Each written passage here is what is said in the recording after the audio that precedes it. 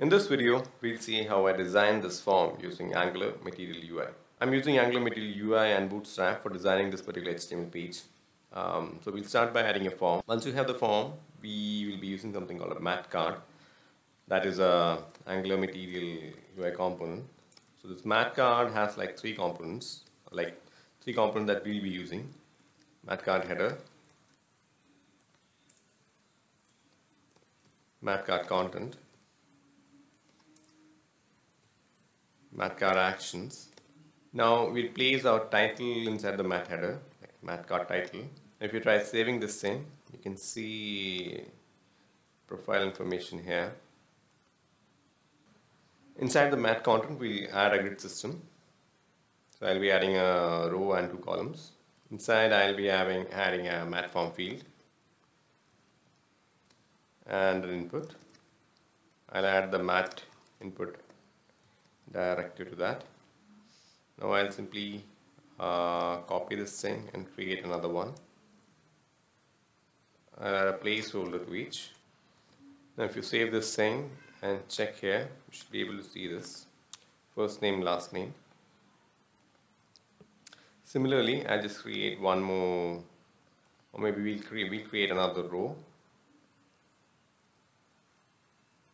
Copy it paste it. You have the second row. So here I'll use the text area. The second column I'll add a, a bootstrap uh, date picker. So I'll simply co copy the code from the website. Here you can see it's a mat form field and a date picker. So I'll just copy the code and paste it here. Now if you save and refresh you should be able to see a date picker and this. Yeah I'll add another row. Inside this I'll be adding a radio button group.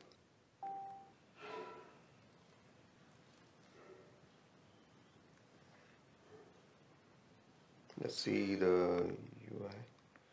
Now once you have added this, you can see the from the UI that it's a bit, a little bit of spacing is required here. So I'll add a margin there. So I already have a style here the radio buttons. I'll just apply the style. You save it if you can see. You can see that it's proper now.